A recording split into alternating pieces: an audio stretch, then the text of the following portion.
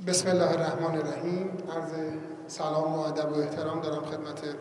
حضار گرانقدر خیر مقدم عرض کنم خدمت مدعوین گرانقدر و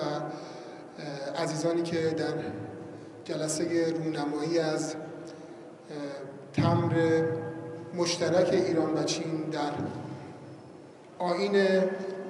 رونمایی از تمر پنجاهمین سالگرد روابط دیپلماتیک ایران و چین حضور به هم رسوندن. خیر مقدم عرض کنم خدمت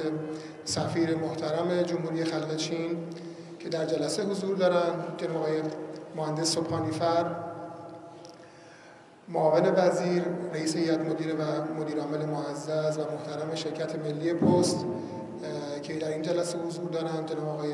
دکتر محیط طباطبایی عزیز که قبول زحمت کردن در این جلسه حضور دارن و به نمایندگی از مجموعه کمیته ملی ایکوم رئیس محترم این کمیته هستن که در این جلسه حضور دارن رایزن محترم و همه اعضایی که عزیزانی که قبول زحمت کردن. تاریخچه روابط پستی ایران و چین و قرار گرفتن ایران و چین در جاده ابریشم نشان از روابطی هستش که از دوره های خیلی قبل نزدیک به 2600 سال پیش ما روابط فرهنگی، تمدنی و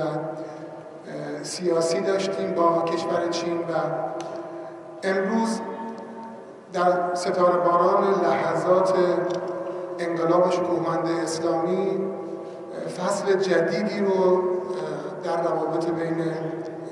کشور ایران، جمهوری اسلامی ایران و جمهوری خلق چین داریم و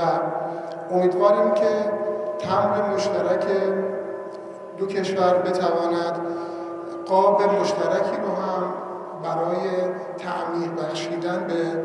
روابط فرهنگی، سیاسی و اجتماعی بین دو کشور باشه. و خودم فرض دونستم که خیر مقدم عرض بکنم و حضور یکانگان عزیزان رو خدمتتون باشیم. انشالله مراسم رونمایی از تمر مشترک رو بعد از سخنرانی جناب آقای سفیر و جناب آقای سپانیفر انشالله خدمت دوستان خواهیم بود. خیلی خوشحالم و خیلی ممنونم که قبول زحمت کردید. سپاس گذارم